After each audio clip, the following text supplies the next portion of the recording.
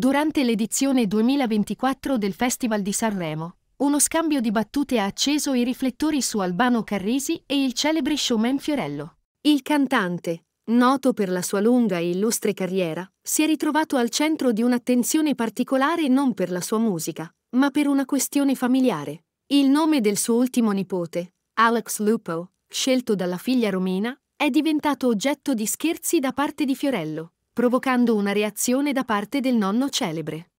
Prima di proseguire, facciamo una pausa e riflettiamo insieme. Cosa pensate della scelta dei nomi unici per i bambini e delle reazioni che questi possono scatenare? La battuta di Fiorello vi sembra un semplice scherzo tra amici o un passo falso? Condividete la vostra opinione nei commenti, alimentando il dibattito su questo delicato argomento.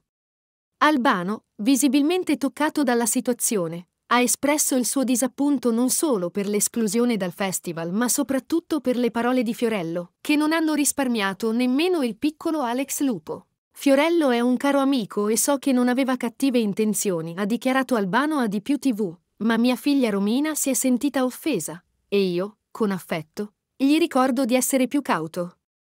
La risposta di Momina Power non si è fatta attendere. Schernire il nome di un neonato mi sembra di pessimo gusto, ha commentato, definendo l'azione un'inutile crudeltà piuttosto che umorismo. Albano, cercando di placare gli animi, ha ribadito l'importanza di proteggere i più piccoli dalle battute pubbliche, soprattutto in un momento delicato come quello post-parto vissuto da Romina. Ha poi aggiunto, nel mondo dello spettacolo esiste una regola non scritta, si può scherzare su tutto tranne che sui bambini.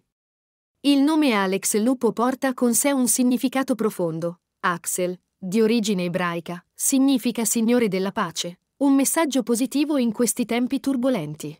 Il cognome Lupo riflette l'ammirazione di Romina per quest'animale, simbolo di forza e libertà.